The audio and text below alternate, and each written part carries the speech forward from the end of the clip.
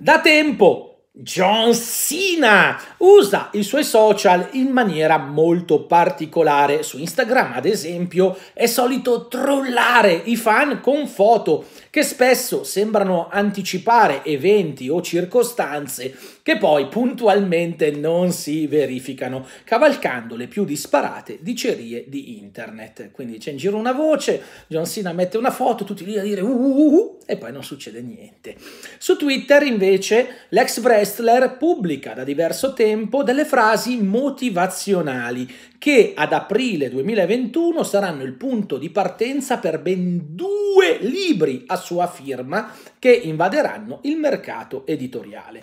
Uno di questi avrà come target i bambini tra gli 8 e i 12 anni, mentre il secondo sarà a beneficio di tutta l'utenza senza distinzioni di età. Siete pronti dunque ad abbeverarvi eh, alla fonte della saggezza di John Cena? Beh, vedremo, anche perché probabilmente usciranno soltanto in inglese. Però come side news vi ricordo anche che John ha in cantiere diversi film e anche la partecipazione in almeno un paio di serie tv è richiestissimo. Di conseguenza, anticipando una domanda che mi fate spesso, quando torna?